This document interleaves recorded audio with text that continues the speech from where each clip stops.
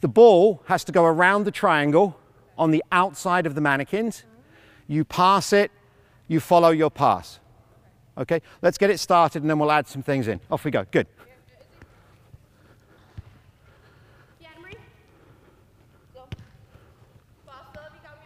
Very good. So you guys are well trained. You use each other's names even if you don't completely need to because we don't have defenders. Good. Excellent. And you've kind of got yourself in a two-touch rhythm. And try and beat your pass there. Pass it and then beat it there. So we put a little sprint in. Good. Yeah, pass it, put a little sprint in. Fantastic. Go the other direction, number 14. Excellent. Well done. And we switched it on the fly.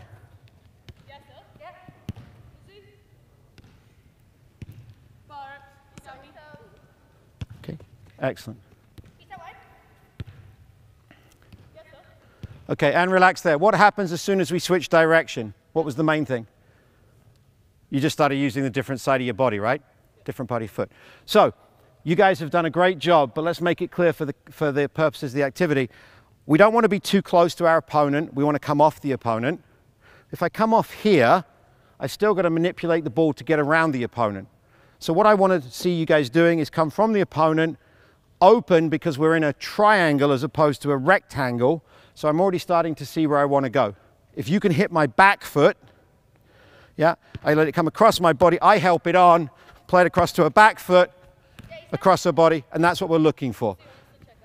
Yeah, um, yeah, a little check run off the defender if you're comfortable and not going too fast. So we're here, we're open, we see the field, we're able to move the ball on. I know you've got a new friend, that's good.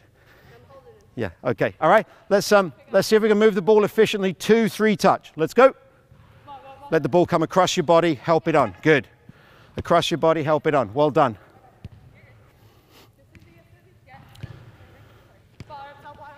Good. Very comfortable on your right feet, aren't you? Change direction. So let's see if we can pass left, collect left. Good. Okay, it's all right.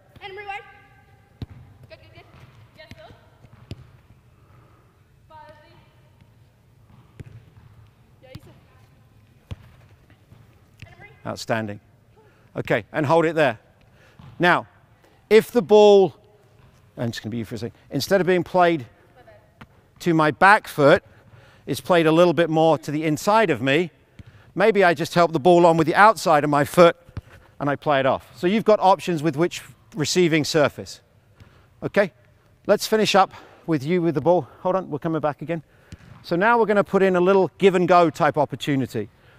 I might move the cones for you in a second. So it's going to come into you, back to me, short side to you, long. Give, go.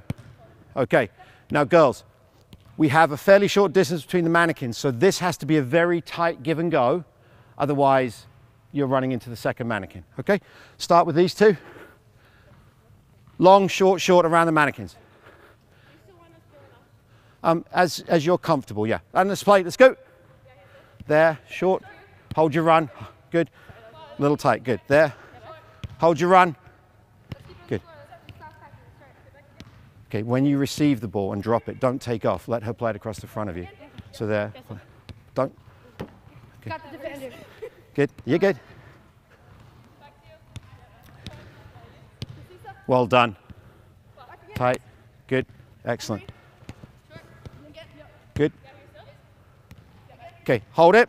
Remember, the trick is we want the ball to be played across the front of the player who's getting the second pass back. So she can't take off too early. So if you play it, drop it, and she takes off too early, it becomes a longer pass into the defender. So it wants to be really tight around this mannequin.